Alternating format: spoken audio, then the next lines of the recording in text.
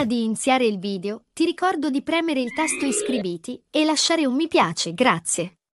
La trasmissione Mattino 5, condotta da Federica Panicucci e Francesco Becchi, sta dedicando molto spazio al caso della Madonna di Trevignano, con la presunta veggente Gisella Cardia.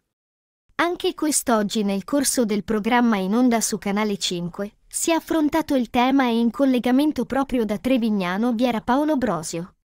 Mentre era collegata con Federica Panicucci, la conduttrice ha notato che Brosio guardava spesso il cellulare.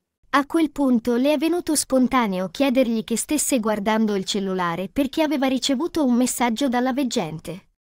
Alla domanda postagli dalla conduttrice, Brosio ha risposto negativamente, chiarendo il vero motivo che lo stava portando a guardare più volte il cellulare mentre si trovava in diretta.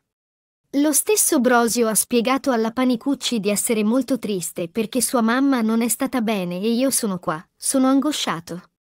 A quel punto la Panicucci ci ha tenuto a mandare un abbraccio caloroso alla mamma. Brosio, poi, ha spiegato che la madre si trova ricoverata nel reparto di medicina d'urgenza all'ospedale Versilia, mentre lui si trova a Trevignano a lavorare. Di fronte a quelle parole la Panicucci ha assicurato al giornalista di non preoccuparsi e di recarsi a trovarla. Corri da tua mamma,